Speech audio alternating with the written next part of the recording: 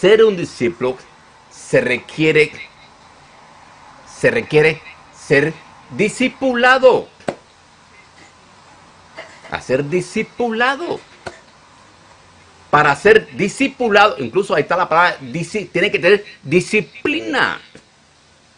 Disciplina. Un discipulado, una persona que tiene, ha sido formado, ya tiene disciplina.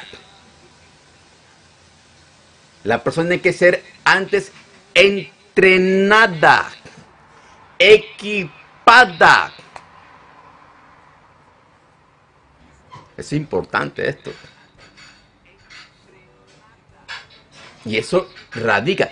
Entre mayor sea el entrenamiento, entre mayor sea la disciplina, entre mayor pase en tutorial, eh, bajo, tu, bajo tutor, tutoría del tutor, va a ser un mejor discípulo. Y la idea es hacer un, un mejor discípulo, porque si nosotros somos un buen discípulo, vamos a generar, vamos a discipular bien, vamos a formar discípulos bien formados. Y esta es la cadena. Bueno, Alfonso, esto es importante.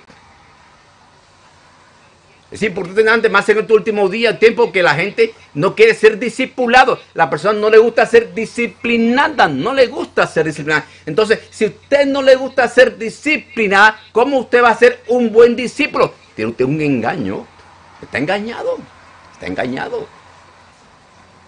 Un discipulado implica disciplina, obediencia, sumisión. ¿Ok? No lo contrario, rebeldía, insumisión, a nadie respeta y quiere hacer lo que la gana. No, no, no, no. Olvídate el cuento que usted no es un discípulo. Usted no ha sido todavía discipulado. Usted no tiene disciplina, mi hermano. Y usted, ¿cómo usted ahora va usted a discipular? ¿Cómo usted va a hacer? Ah, porque un discipulado, aquí Jesús lo que dice es, es, es, es a su discípulo Dios, hagan, por tanto, y hagan discípulos. O sea, multiplíquense. Lo que es usted, un discípulo, usted va a sacar, también fruto, fruto, o sea que va a tener, va a ser otro discípulo, ya no, no es uno, ya son dos discípulos, porque ya usted sacó uno, y eso va a ir dando fruto, multiplicación, que es lo que Dios quiere. Y así que se tiene el reino de los cielos.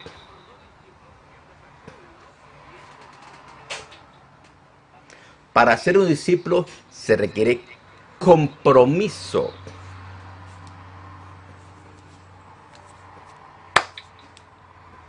Y muchas características más. No voy a, a desglosar porque tomara, quiero andar, quiero, quiero, orar por ustedes. Esto es una cadena de oración y quiero, y yo sé que ustedes en, su, la iglesia a ustedes le predican sobre esto.